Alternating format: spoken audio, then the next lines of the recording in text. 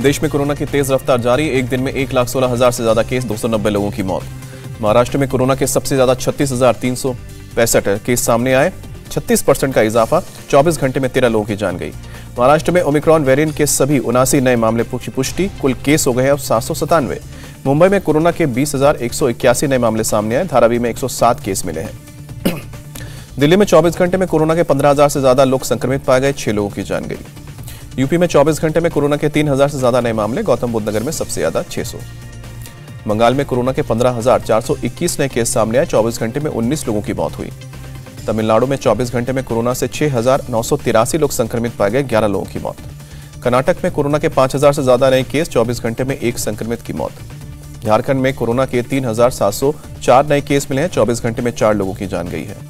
बिहार में 21 जनवरी तक स्कूल कॉलेज और कोचिंग सेंटर रहेंगे बंद सरकारी और प्राइवेट दफ्तरों में 50 परसेंट स्टाफ को इजाज़त। दिल्ली सरकार ने निजी स्कूलों में नर्सरी एडमिशन के लिए दो हफ़्ते तक बढ़ाई डेडलाइन, कोरोना के चलते फ़िलहाल फैसला। कोरोना की वजह से लखनऊ में gym, swimming pool, water park बंद करने का आदेश, रेस्टोरेंट और सिनेमाघर 50 परसेंट क्षमता के साथ चलेंगे। लखनऊ में नाइट कर्फ्यू अब रात को 10 बजे से सुबह 6 बजे तक रहेगा। शादी समारोह में अधिकतम 100 लोगों की अनुमति होगी। चंडीगढ़ में आज से रात को 10 बजे से सुबह 5 बजे तक रहेगा नाइट कर्फ्यू। अगले आदेश तक सभी शिक्षण संस्थान, जिम और स्पोर्ट्स कॉम्प्लेक्स बंद रहेंगे। राज्य को केंद्र सरकार की चिट्ठी हर ज़िले में कोविड मैनेजमेंट के लिए कंट्रोल रूम बनाने को कहा। देश में अब तक कोरोना वैक्सीन की एक सौ उनचास करोड़ सत्तावन लाख डोज दी गई। गुरुवार को पिचासी लाख वैक्सीन लगाई गई। पाबंदी बढ़ाने को लेकर बोली ममता बनर्जी, कोरोना संक्रमण को रोकने के लिए अगले पंद्रह दिन में और पाबंदियाँ बढ़ाई जाएँगी। सुप्रीम कोर्ट में सभी जज अपने घर से वर्चुअली करेंगे मामले की सुनवाई। 10 जनवरी से सिर्फ़ ज़रूरी मामलों पर सुनवाई होगी। पीएम की सुरक्षा में चूक के मामले पर आज सुप्रीम कोर्ट में सुनवाई होगी। मुख्य न्यायाधीश की अगुवाई में तीन जजों की बेंच सुनवाई करेगी।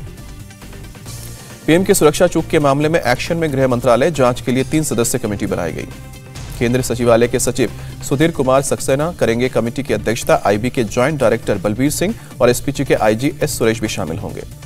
केंद्रीय कैबिनेट की बैठक में सुरक्षा में चूक पर हुई चर्चा, एक स्वर में बोले मंत्री, सुरक्षा के साथ खिलवाड़ चिंताजनक। मीटिंग के बाद केंद्रीय मंत्री अनुराग ठाकुर ने कहा कि जानकारी जुटाने के बाद बड़े और कड़े कदम उठाए जाएँगे। सुरक्षा में चूक पर राष्ट्रपति कोविंद ने चिंता जताई, पीएम से मुलाकात की। संसद भवन में गांधी मूर्ति के सामने बीजेपी के सांसद धरना देंगे, पीएम के सुरक्षा में चूक का विरोध करेंगे। अकाली दल के संरक्षक प्रकाश सिंह बादल ने काफिले को रोकने को गलत बताया, लेकिन बोले कि पीएम के कार्यक्रम में लोग नहीं थे। पीएम की सुरक्षा में चूक पर संयुक्त किसान मोर्चा का बयान, पीएम का रास्ता रोकने और कार्यक्रम में अड़चन डालने का कोई प्लान नहीं था। संयुक्त किसान मोर्चा ने कहा कि 5 जनवरी को पंजाब के हर ज़िले में शांतिपूर्ण विरोध किया गया था।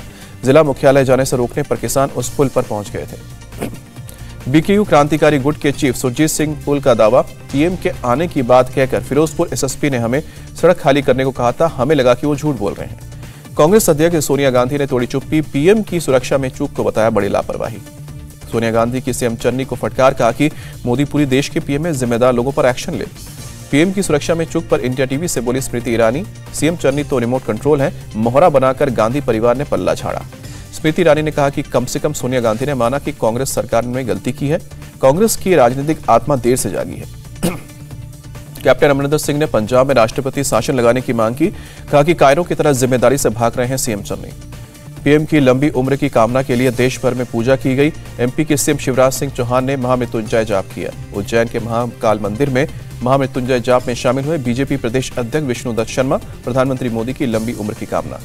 सीएम योगी ने वाराणसी के काशी विश्वनाथ मंदिर में पीएम की सलामती के लिए दुआ मांगी। काल भैरव मंदिर में भी पूजा की। दिल्ली के हनुमान मंदिर में प्रधानमंत्री मोदी की लंबी आयु के लिए पूजा। दिल्ली बीजेपी अध्यक्ष आदेश गुप्ता ने महामृत्युंजय जाप किया। पश्चिम बंगाल की सीएम ममता बनर्जी आज पीएम मोदी के साथ करेंगी बैठक वर्चुअली शामिल होंगी। पीएम मोदी आज कोलकाता के चित्तरंजन नेशनल कैंसर इंस्टीट्यूट के नए कॉम्प्लेक्स का उद्घाटन करेंगे। जोहानिसबर्ग टेस्ट में सात विकेट से हारा भारत, साउथ अफ्रीका ने रचा इतिहास वनडरस में दर्ज की अब तक की सबसे बड़ी जीत। वनडरस में भारत को मिली पहली हार, अब तक खेले गए छह मैचों में नहीं हारा था भारत, सीरीज़ में दोनों में टीमें अब एक एक की बराबरी पर। इंडिया टीवी, हर वक्त। हर जगह डाउनलोड करने के लिए सर्च करें India TV news, Google Play Store या एप स्टोर पर।